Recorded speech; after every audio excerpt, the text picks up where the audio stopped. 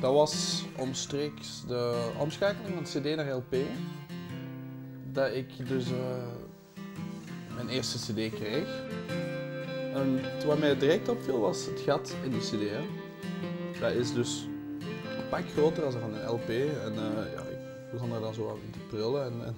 en er is dus echt een enorm verschil tussen die verschillende gaten van de, van de verschillende CD's. Hè. Is, eh, als ik hier nu voel, heb je echt dat ruwe, dat ja, brute een beetje. En als ik hier voel bijvoorbeeld, dan heb ik weer meer een iets zachter gevoel.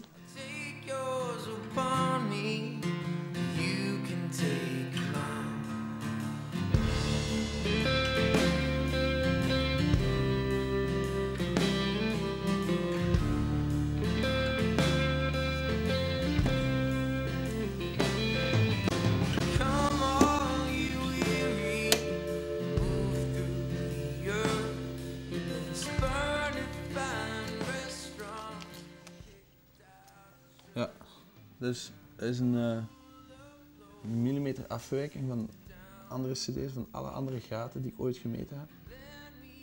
Dat, ja, dat, is, dat is uniek, hè. Compleet uniek.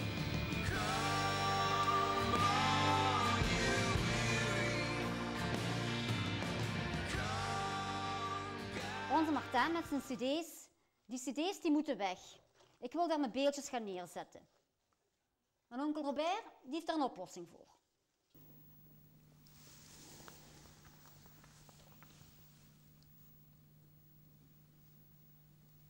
Je de schijf